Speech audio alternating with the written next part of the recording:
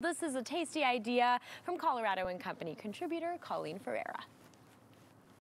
We're hosting a game day watch party this weekend, and my goal is to totally switch up the menu for all of my guests. You know, usually we have tacos, quesadillas, some type of nugget for the kids, uh, veggies and dip, of course.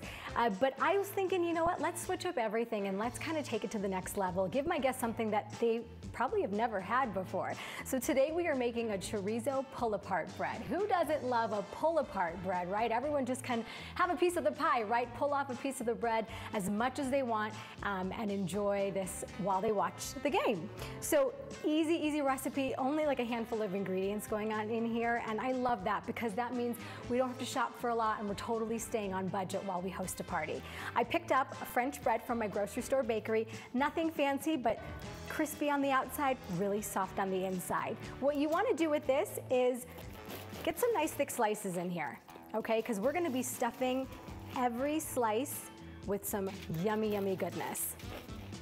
All right, so now we kind of have like this accordion thing going on with our bread. I don't wanna really pull it apart just yet.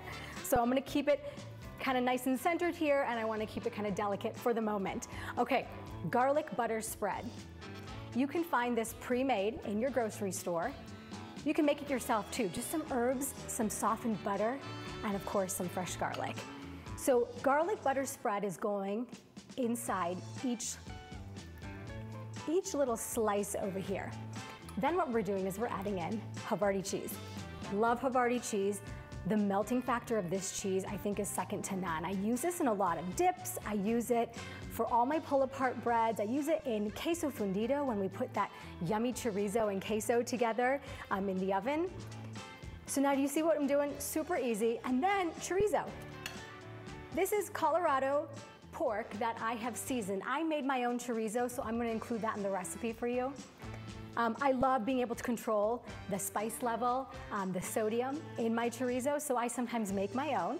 I started with just some simple ground pork and added a whole boatload of seasoning to my chorizo. There we go. So now we're just stuffing the bread with about a tablespoon or so. I'm known to overstuff everything because I like everything very big and flavorful. As should you when you're eating and you're celebrating, great, you know what, go for it.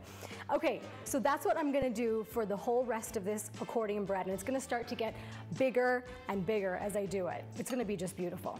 I wanna get the last bit of chorizo in these last few pockets.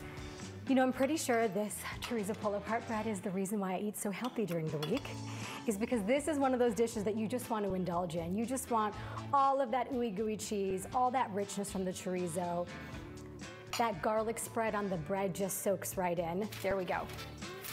Look at how awesome that is. It's stuffed. I mean, this is stuffed with all sorts of goodness, as you saw. Um, now what I'm doing is I'm taking a chili crisp. Now, if you've seen this before, it's a, it's a green chili crisp. And I'm just gonna drizzle it along the top there. Just for some added kick, some added flavor. That oil is going to um, crisp up really nicely on top of the whole bread. Look at how beautiful that is, love it. And then we're gonna kind of create a boat, okay, with this foil. We're gonna have that boat and I'm gonna take another piece of foil and tent it over and you're gonna throw this in the oven. Everything's gonna melt together.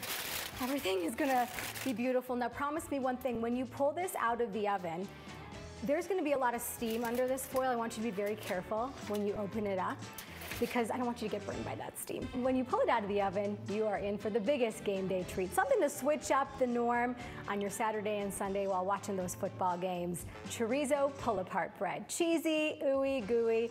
You're just gonna love it. For this recipe, go to copork.org and follow us on social media at Colorado Pork Producers Council.